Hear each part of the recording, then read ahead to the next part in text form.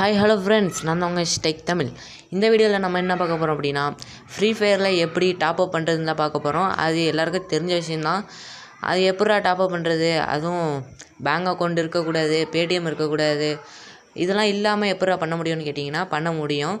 உங்கள் சிம்மு வழியாகவே பண்ண முடியும். எப்படின்னு கேட்டிங்கன்னா ஃபஸ்ட்டு ப்ளே ஸ்டோருக்குள்ளே போய்க்கோங்க.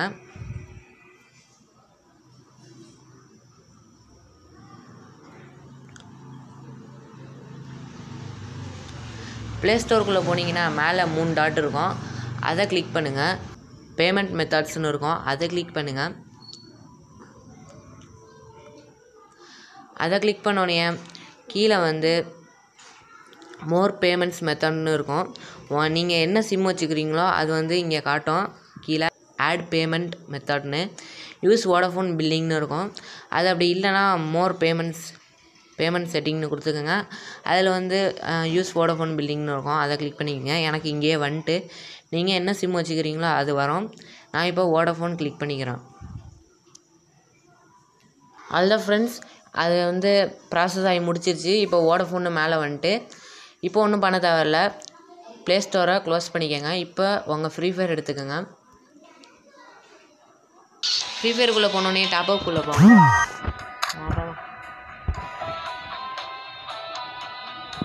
நீங்கள் ஃபஸ்ட்டு டாப்அப் பண்ணிங்கன்னா ஜோசப் கேரக்டர் கிடைக்கும். அது எல்லாருக்கும் தெரிஞ்ச விஷயந்தான் சரி இப்போ இவ்வளோ வரும். எண்பது ரூபா கொடுங்க.